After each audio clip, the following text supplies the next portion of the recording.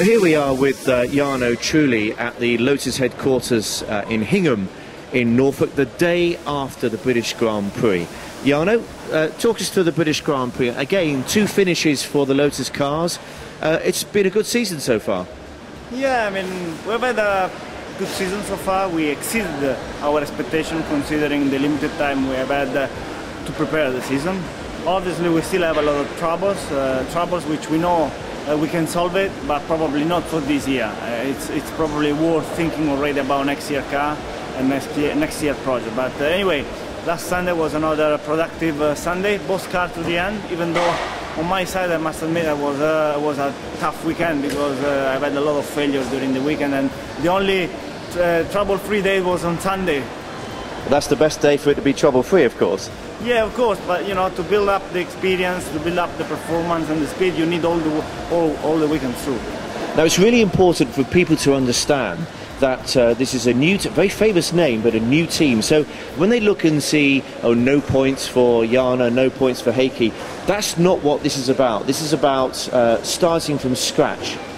Well, I remember when I came in here the first time, there was nothing, you know, roughly the walls were, were not even painted as white as they are now. So really, and this is what I'm talking about last December, so only six, seven months ago. So they've done an incredible good job setting everything up, building the team, the factory, uh, all the facilities. But obviously the time is very limited to create a winning team. Uh, what we are doing, as I say, we are exceeding our expectation and most people expectation. We are getting closer to the top and establish the team, but we still uh, need some time. So I would say that this is a transition season where we really have to build up things and get ready for next year's challenge.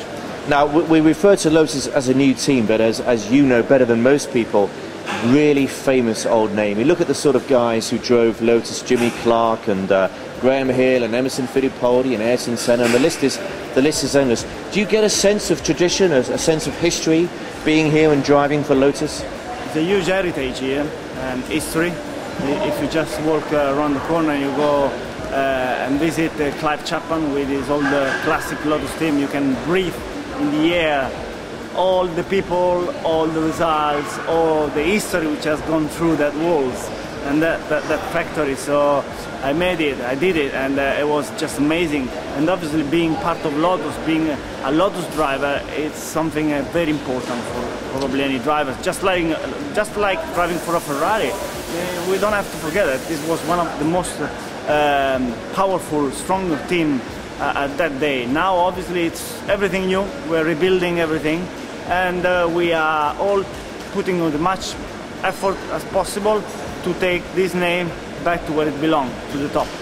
Um, now, Jarno, uh, you've won one Grand Prix, you've raced many, many times, but if you're going to win one Grand Prix, it may as well be Monaco.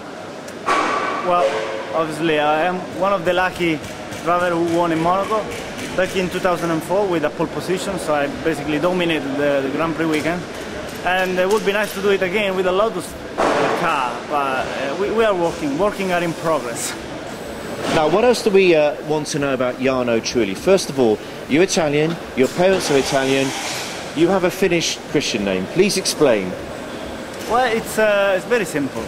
Uh, my, my parents, they were passionate about motorsport in general. And in the 70s, there was uh, Jarno Saarinen, a Finnish uh, motorcycle rider, a great driver as well as a great person. Uh, unfortunately, in 1973, he lost his, uh, he passed away, he lost, um, he lost his bike and uh, he basically was killed in an accident in Monza together with the Pasolini. And uh, so my parents they just thought, you know, the name was nice, the, the, the person was great, so they named me after him. And uh, I remember now I've discovered a lot of people with the same age as me, born between 73, 74. A lot of people which has Jarno name is because of Jarno Saarinen. Oh, really? So uh, it's, it's, it's funny because nowadays instead, I have found a lot of kids which are named Jarno because of me. Oh, really? That's Yeah. interesting. So when you were well, back in Italy, you mean people, Italians as well, around the world, around the world. Really? Yeah. So when you were a, a boy at school and all your friends, were, I don't know, were called Paolo and Giuseppe and When they come up to me and say, "What's your name?" Sorry, Gennaro, Jaco. They will never get it right at the first time, which is, I, I can understand that. now what else? Jarno, now I understand that you have some vineyards back home in the Abruzzo region and you make your own wine, but you sound like my kind of guy. Well, it's a family business, family passion more than business. It has started 10 years ago. We have uh, restarted the old business of my grandfather, which used to make wine in a very small quantity. And then with friends and stuff, with professional people of this business, we made up something very great because now we are producing 800,000 bottles, selling them all around the world, from Japan to US, uh, Malaysia, anywhere, in, in England as well. So we are very successful. We're still young because 10 years old uh, as a real estate is not uh, a, a big uh, a big deal, but we are growing up and we are getting better and better. We produce uh, uh, red Montepulciano uh, wine, white Trebbiano d'Abruzzo, and Cerasuolo Rosé, plus many other products. We have more than 27 different labels, and you know the family is involved, the friends are involved, and uh, Podere Castellani is doing very well. I guess the problem is, Jarno, as you're either racing or testing so often, you can hardly ever drink the stuff. Unfortunately, yeah, during the race weekend or testing weekend, I keep uh, away from the wine. But I can tell you, during uh, before the race weekend, very often, especially at the overseas races, I, I very often do wine tasting, degustation around with restaurant and people and you know customer, and they do enjoy it. They do enjoy the wine. They do enjoy also the story behind it.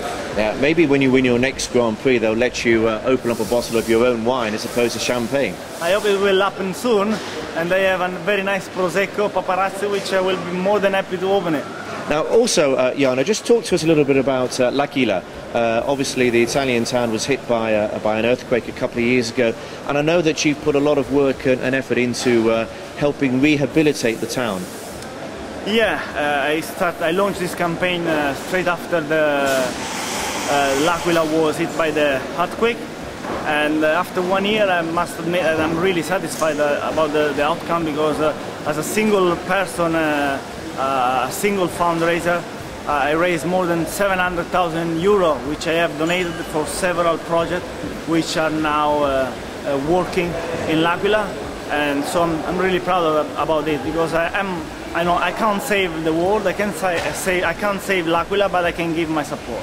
Fantastic. Well, that's really good to hear, Jarno, and it just goes to show that. Uh, you know, uh, Formula One drivers, there's much more to them than, than, than simply uh, racing. Yeah, I mean, we, we, we are the lucky person in this world, and somehow we have to take our lucky, uh, to use our lucky in order to help people which have, have, not been very lucky. In this case, uh, you know, uh, we, we have, I do personally, a lot of, lot of um, charity events through the years, which I'm not gonna you know, sponsor it. I just say that when I have my time, when I have free time, and someone call me up and I can go, I go for it because I know. Uh, I personally think I'm a very lucky uh, boy. Well, to, to finish, uh, and thank you for your time today. Um, I'm sure Lotus will continue to be successful. Uh, maybe next year start picking up some points, and I don't know, maybe two years' time, podiums, and, and so on and so forth. Um, in the meantime, it's a very interesting season this year, especially with 25 points now for a win. How do you think it's going to go? Well, I think it's gonna be an interesting uh, season, even because uh, you know the winners change. McLaren seems very consistent with Hamilton and Button staying there on top of uh, the driver list. So you know it's gonna be interesting until the last uh, race probably, and uh, we can score points. We're racing, so we know that it's hard, but we can still fight for uh, for the point. Okay, thank you. So,